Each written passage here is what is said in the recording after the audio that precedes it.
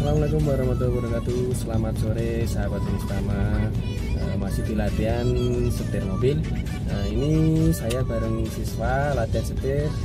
Monggo Mbak diperkenalkan. Halo semuanya, nama saya Nindi.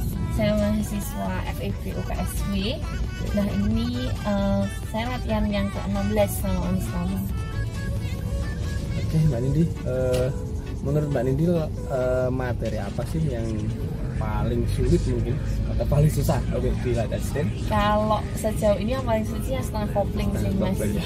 Karena kan agak jadi deg-degan ya karena kan jalannya kan nanjak gitu lah kalau tiba-tiba turun gimana gitu. Cuma sejauh ini sih uh, waktu ngajarinnya gampang-gampang aja sih. Enak instrukturnya nyampainya itu jelas gitu ini latihan terakhir mbak ya? Iya betul. Udah materi semua udah komplit udah sampai ke parkir udah dikuasai semua ini sama Mbak Nindi. Iya. okay. Semuanya karena Mas Gufar kok. Oke Mbak Nindi, uh, untuk kesan dan pesan di LP Unistama ini gimana menurut Mbak Nindi? Uh, kalau yang jelas yang pertama ya Mas, uh, hmm.